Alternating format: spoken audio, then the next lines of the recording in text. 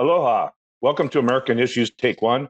I'm Tim Apicella, your host. Today's title is Trump CNN interview. Same old Trump. You know, uh, Trump had his uh, interview, town hall meeting, whatever we want to call it, uh, last week, and uh, it received a lot of criticism. And, and why is that? Well, a lot of people felt that Donald Trump was solely responsible for trying to undermine a Democratic election and solely responsible for the January 6th uh, insurrection against our Capitol. And people think that uh, he failed that that time, but he's running again and he won't fail the second time. Therefore, why give him a microphone, a stage, and any platform to um, advance his uh, career uh, desires? You know, before the uh, CNN town hall, CNN had a viewership of 589,000 after that that town hall meeting, they dropped down to 335,000. CNN now sits at fourth place behind Newsmax at 335,000. Newsmax is 357,000, and Fox is at 1.44 million.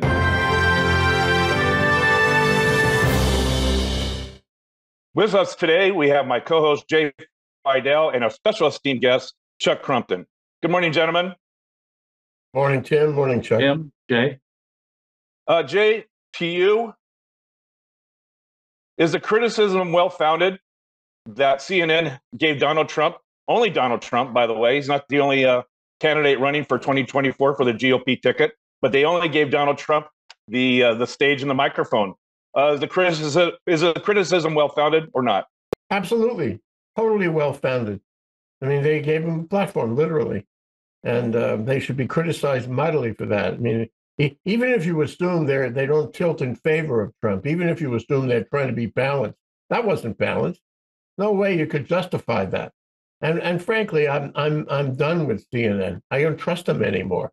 You know, you talk about um, you know some of these classical newscasters of years gone by. Um, they don't. I'm I'm afraid they don't have that and if you looked at Anderson Cooper's defense of it a few days later, that was pretty um, uh, lackluster also. So bottom line is um, this this was terrible. It was terrible for the American people. It was ter- terrible for the American people who are like cheap and and buy into Trump's mishegas.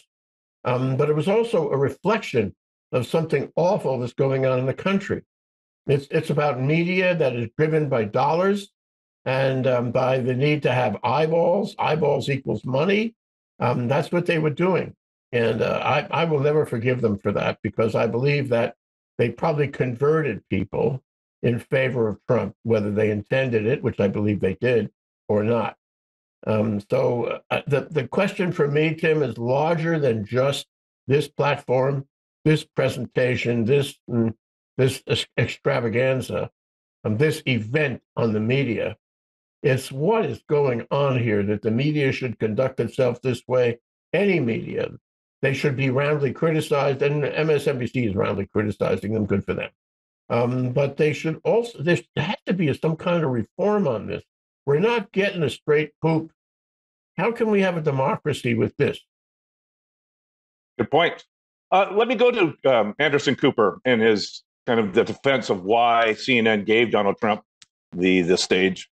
And if I remember the, the gist of it was uh, we can't afford as, as, as Americans, be it independent, GOP, uh, not the MAGA GOP, but the GOP and Democrats cannot afford to put one's head in the sand and pretend like Donald Trump is not a force that could very well be the next president again.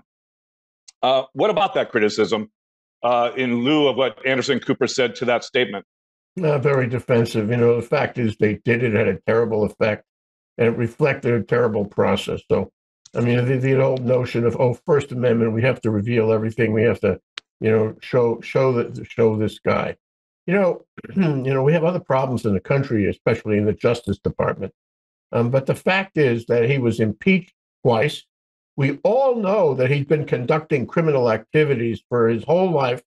Um, we ought to write him off. And yet, our system allows him to run for office, to become president. Our system allows him to have this platform with CNN and, and garner votes among his base. Um, he's a criminal, man. Uh, how could we let a criminal up there as part of our political process into the power structure like that? So um, yeah, I, I don't think too much of uh, Anderson Cooper's defense. Um, we should not let him on. You know, Tim, we should not be having this show.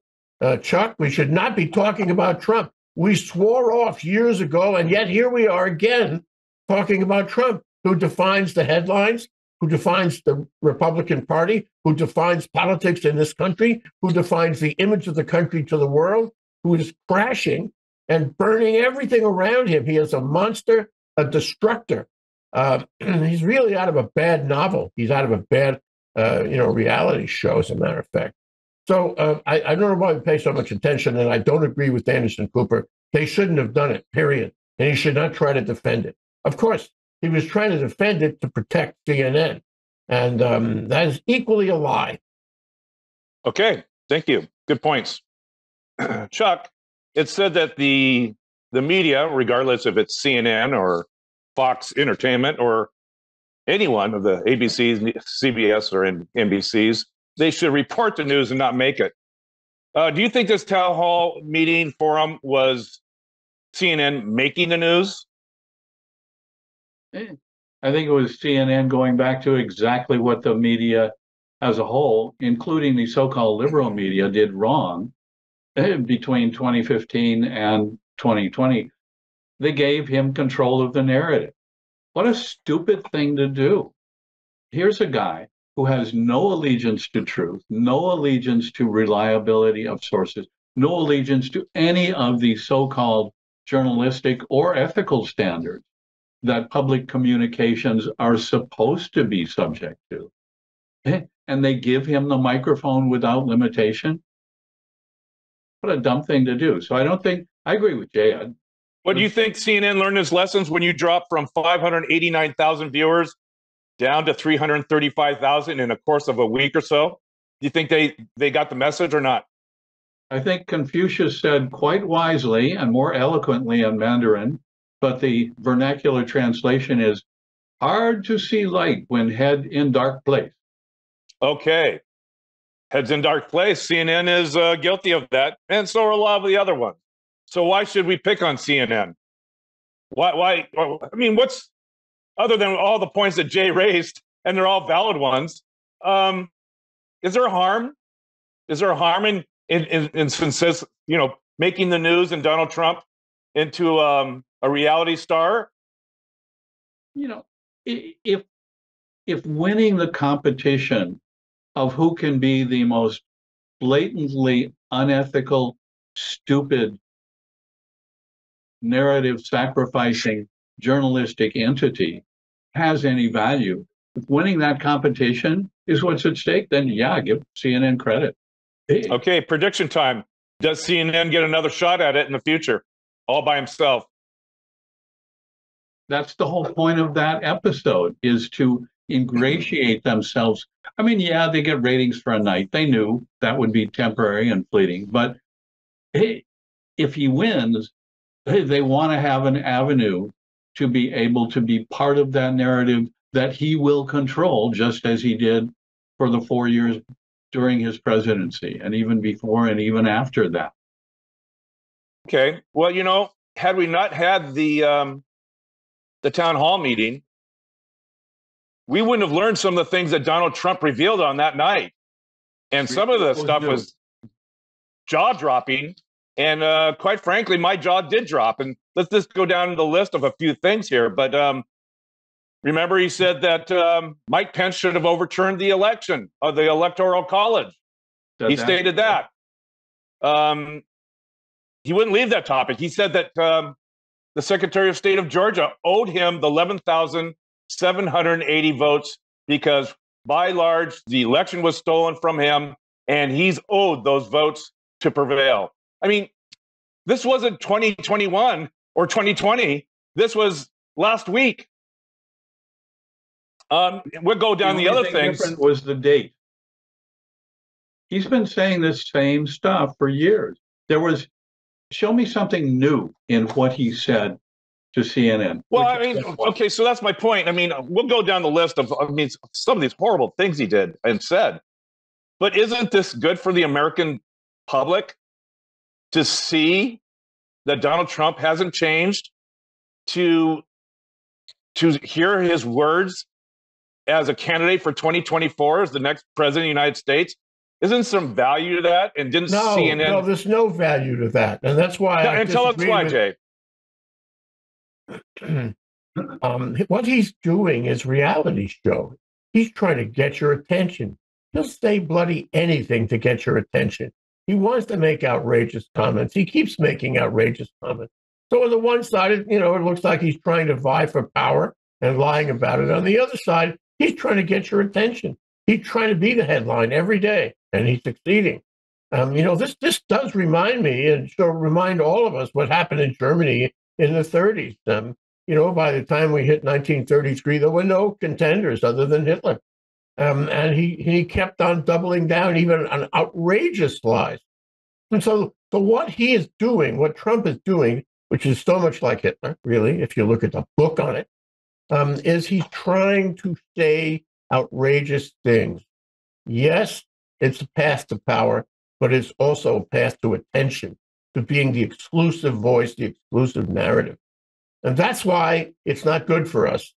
He doesn't really mean it anyway.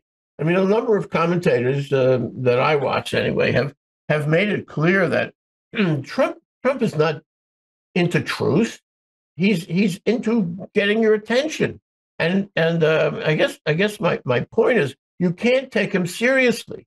You can never ever take him seriously. Is always an agenda, and the agenda is not what it seems to be.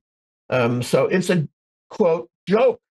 Everything okay. around him is a joke. Okay, but isn't it, although it's a joke, isn't it beneficial for the independence of this nation, the GOP that are non MAGA GOP, to see this joke that's on the stage? Isn't that isn't that beneficial for them to confirm that Trump is not going to be the one they vote for? Isn't there no, some benefit to that? Uh, entertainment. You know, my favorite part. I mean, there's a lot of favorite parts. My favorite part of that whole affair with CNN was where the interviewer got him to say that what during his um, his uh, time in office, he took one position. I guess it was about immigration, and now that he was not in office, um, uh, he had changed his his comment there on the stage with CNN to 180 different.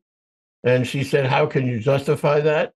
And he said, "Because I'm not in office. I'm not not, not the president." I actually, I think and, that was well, on the, the point. Here's the point. They laughed. It was a joke.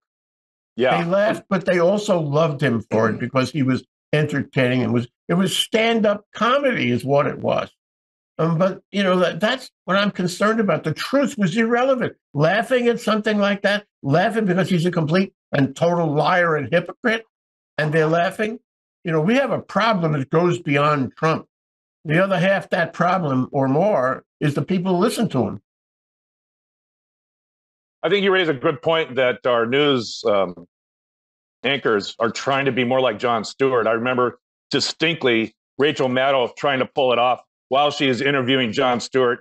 And he said, You know, you're not doing the nation a service by trying to be a comedian. He goes, That's my job. I get to say these things in the way I say them, but you are not a comedian and you shouldn't try to be when you have your show on. And um, the look on her face of disappointment that her idol, Jon Stewart, kind of chastised her right then and there on, on during her show. But it's true. Chuck, is that the issue that our, our, our media personnel are trying to be humorous and, and entertaining and uh, forget the hard follow-up questions the, and, and just let them off the hook as long as we get some laughs and, and, and comedic value out of it. Laughs, think, laughs and sponsors. Don't forget the money. Don't forget the money. What do you think, Chuck? Yeah, no, I think hey, Jay's right on. I mean, it's, it's a total kiss up uh, stance on their part. Show me one true investigative, independent journalist out there now. There are people who are writing. Heather Cox Richardson is amazingly independent, well read, well lettered, historically based, and nails it every single time. But she doesn't get any press attention, even though she speaks more truth in one daily blog than Trump has in his lifetime. But that's not what he does. Okay, so to quote Yogi Berra, is it deja vu all over again that we're going to repeat the same media uh, travesty that we allow the circus to occur and Donald Trump, through all his lies and, and buffoonery, becomes a second term president? No, I know I'm asking you to uh, answer the impossible because we don't know, but I guess the question is really does CNN and other news agencies do they change their mantra of entertainment versus news and, and the quest for real news and the truth yeah, they the get, news? They get they do change their mantra. The dynamic is they get worse. They get worse. Chuck, do you agree with uh, Jay on that? Yeah, the quote that's applicable here comes from Mark Twain. Hey, hey, to argue with a fool is idiocy because they will simply drag you down to their level and beat you with experience. Okay. They continue to subject themselves to that. I honestly don't think Maxwell Anderson Cooper would have done any better than Kaitlan Collins did because they give him control of the narrative. Once you've given it away, you don't get it back from a narcissist. Narcissists don't change their behavior. Tim, I want to ask uh, Chuck some questions. To win a discussion, they're not debating. I want to ask Tim some questions. You know, you're a lawyer. You know, you've been involved in interaction with people and in contentions and controversies of your professional life. And I am sure that as you watched that, you thought for a second, hmm, I would have asked him a follow up question. I would have disagreed with him. I would have shouted him down. I would not have given him the stage that way. Now, honestly, look in your heart, look in your heart, and tell me, do you think you could have done that sitting across from Trump? Well, you've assumed a fact not in evidence, as we like to say, right? Which is one that I would watch Trump, which I don't, have not for a number of years now. Except when it's unavoidable. If somebody puts him on a screen unexpectedly, he may be there for hopefully a short soundbite. I, I can see clock, Clockwork Orange. Clockwork Orange. They strap Chuck in a chair, and they and like in Clockwork Orange, and they force his eyes open and tie him down and make him watch Trump. Okay, let's assume that's the way it went. Well, the only question is whether the gag reflex or the vomit reflex is going to take over first. we're not getting the answer out of Chuck that you think we're getting, Jay. Let me ask uh, another question. Well, no, I think any lawyer, you know, would look at that stuff and you know and hear the colloquy and say, "Gee, I, I might have been able to do better. I'm not sure, but I would have asked him this and I would have asked him that, and I would not have been deflected the way he deflected Kaitlan." Uh, so, query, you know, Chuck, from what you know about this event, do you think you could have done better? And if so, how? Well, one of the things that I would have done is to set it up so that Chat, Chat GPT was doing an immediate, instantaneous fact check and reportage eh, on the closed caption portion of the screen below the screen as Trump spoke throughout the entire thing. So wow, listen to that a dual narrative all the way through. Listen to that. Wow. Okay. Hey, um, Jay, before we came on with the show, and then prepare for it.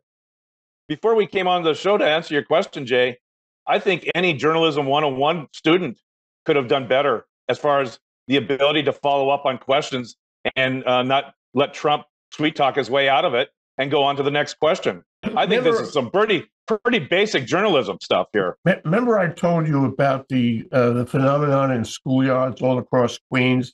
It was called ranking, and part of ranking was uh, interrupting the other guy, never letting him finish. And uh, you know that's what happens in these in these you know Republican situations uh, where you shout down the other person. And and if um, you know Chuck was going to you know take a position like a first year journalism student and ask important questions and have chat GPT showing on the screen, showing on the screen simultaneously for you know great fact checking. Trump would have ranked him. He would have, you know, shouted him down. He would not have allowed the second question. He would have called him names. He would have kept his mouth in gear the whole time. And that's the problem in dealing with a pathological character like this. Good, great point. Excellent point. Hey, switching gears here a little You bit don't give about him the microphone, and you have the ability to turn it off. Well, I, I, don't see CNN walking off the stage and saying, "Well, if you're not going to answer the questions honestly, why conduct the interview or the town hall?" Um, but they could have, but no. I don't see that happening. You know, you know, Chuck, that's a brilliant point because back in the uh, campaign leading to, uh, uh, well, in 2016, um, Trump was making such an idiot of himself, and he was, you know, he was going on and on and interrupting everyone. And there was discussion at that time, if you remember, Tim, there was discussion about turning him off, about turning off his microphone.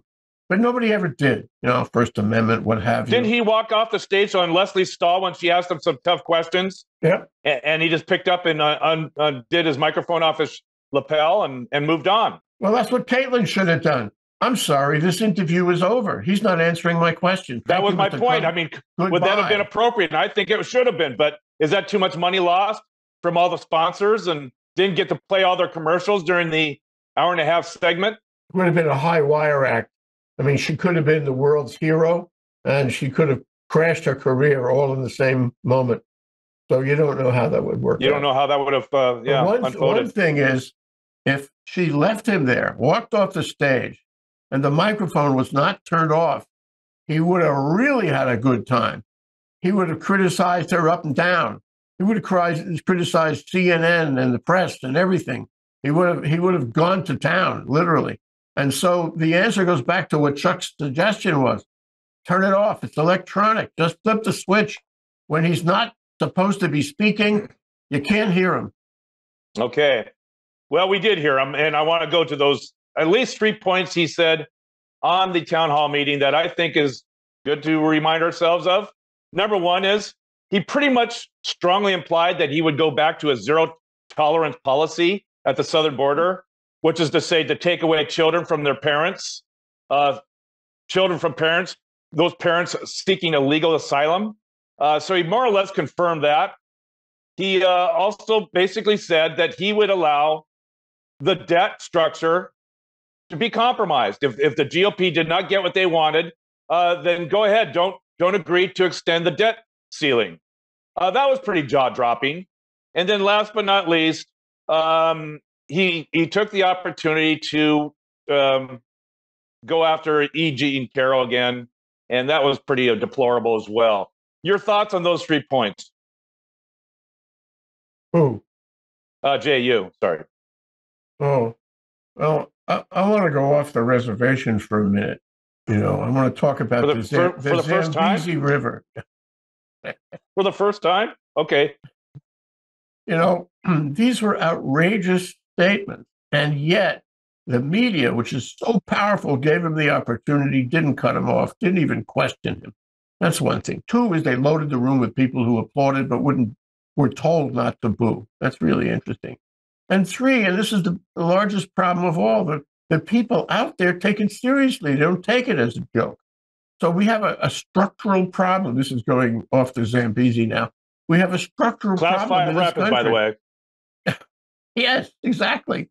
We, you know, we, we have a guy who is who is accentuating and encouraging us to be immoral. And point after point was immoral and destructive you know, you want to you want to um, not lift the debt ceiling. Okay, well, let's destroy the world. What do you think about that, guys? Yay, yay for Trump. I mean, this is really stupid, and and people buy it. And that you know, there was an article recently about how mm, so forty percent of Americans, maybe it was a higher percentage, don't cannot name the three branches of government. There was an article recently where they don't have enough teachers in the schools and kids are not getting an education and, and nobody is encouraging them to get an education. And for generations now, but especially recently, we have kids coming out of school who don't know which end is up about the country, about government, and for that matter, about morality. They get it all from social media, which is, you know, the, the kind of uh, uh, Elon Musk kind of mentality. And so, you know, uh, what what I get out of this, it's um, it takes multiple hands to clap on this. When he makes those outrageous statements, talking about how he's going to destroy the world, he really does sound like Adolf, and he means he means it in terms of continuing, you know, the narrative that way. He will continue it, and if he's elected, you know, we we have to find a way to get to Norway, maybe Sweden, maybe Finland. All right. Um, I hope you're back on the shores from the Zambezi River. But um, as it may, Chuck, I'm going to throw out something else that Trump said, and I want like to get your reaction to it. And uh, certainly, the question was, um, "Do you want to see Ukraine win the war?" And he could not and would not answer that question. Is that important to hear that, given the fact that most Americans do support Ukraine in this effort? No, I, I think, I hope we've made it clear by this time that it is not a justification to allow Trump to repeat or even extend and expand on. I don't think we've heard that before, though. I don't think we heard Trump out and out basically refused to answer whether or not he wanted to see Ukraine uh, prevail against Russia. I think that was a new. I think that was something new that we haven't seen. I mean, should we take note of that? And did CNN do some sort of, and I don't want to ask the question again, but some sort of service to let us hear answers we've never heard before? Well, he still thinks Putin is a genius. So I don't think there's any question. What yeah, Putin, Putin helped him win the uh, the election in, in 2016. Absolutely. And and we haven't really had enough. And Bob Mueller did not do a good job. Um, and you know, as it is now uh, surfacing, he was actively working with Putin to win that election. But but here's the thing: you say he wouldn't commit, he wouldn't commit um, to helping Ukraine. Well, it, it is so reminiscent of the time a reporter asked him before the 2020 election, "Will, in fact, the 2016 and the 2020 election, will you accept the results?" And he would not commit to accepting the results. We Good all should have. We all should have known then. Then, yeah. Okay. Uh, well, I think we've uh, hit all the low points. I was going to say the high points, but there were no high points. We've hit all the low points of Trump's town hall meeting. So let's wrap it up and go, to, uh, Jay, to you for your final thoughts. Well, this time I want to refer to two things that came up in the course of conversation. Um, we do need to fact check on an instantaneous basis. Chuck's idea about using Chat GPT is wonderful. Uh, that would be that would be uh, just just lovely. Um, and the other is turning off his mic. Um, but we have to we have to get the media straightened out on this because the media is driven by dollars. Um, and you know, is it any worse that CNN did this ridiculous presentation, this this platform, this town meeting in New Hampshire, uh, than uh, than what Fox has been doing. You know, it's lying for dollars. It's giving Trump a platform for dollars. And you know, this is this is this is very deep stuff. This is the heart of capitalism, and it is corrupting us. It reflects a huge corruption around the media and the news, and it's not limited to Fox wish I had time for more time. I'd ask you a question following up on that, but we're going to go to you, Chuck, and your final thoughts on the town hall meeting that Trump got. And probably, uh, as you say and Jay say, um, he'll probably get another opportunity, but we'll see. Uh, Chuck, your final thoughts. Well, look, here's a guy who has never come within 3 million votes of winning the popular vote in any election, ever. He's lost the last several elections eh, to give him control of the narrative eh, for openly, blatantly destructive, irresponsible, anti truth, anti democratic, anti humane purposes eh, is to commit exactly those same acts by complicity. All right. I mean, I, have heard that before that um, he does, can't get close to the popular vote, but what does it matter? Uh, as long as he can nail down the swing states of Ohio, Wisconsin, Arizona uh, in the electoral college, isn't that all that matters? It it will be. I mean, that's maybe that's why he's so outrageous because he knows the flavor of those swing states, and uh, he doesn't care if he appeals to anyone else. He just has to nail down those swing states. Isn't that maybe the reason why he, he takes these extreme measures and, and positions? If the media role has any impact on those swing states, and if it is less than as an independent media, the risk of an adverse result again rises dramatically. So the more irresponsible the media is, the greater the risk that we'll have an irresponsible outcome. Great point. Irresponsible, irresponsible, as Tim mentioned at the outset, irresponsible means something different now. Um, in 2016, irresponsible meant that he could, you know, play some games and fool around and, and try to corrupt government. Now it means more like the end of the world. So this is this is really really important. Yeah, we'll have to do another show on what uh, dedicated to what monumental force it would take for uh, the media to change its uh, habitual habits of how they cover candidates, especially Donald Trump. So another show, another time. I'd like to thank my co-host Jay Fidell and our special esteemed guest Chuck Crumpton for joining us on American Issues Take One. I'm Tim Apicella, your host. Won't you join us next week? And then until then, aloha.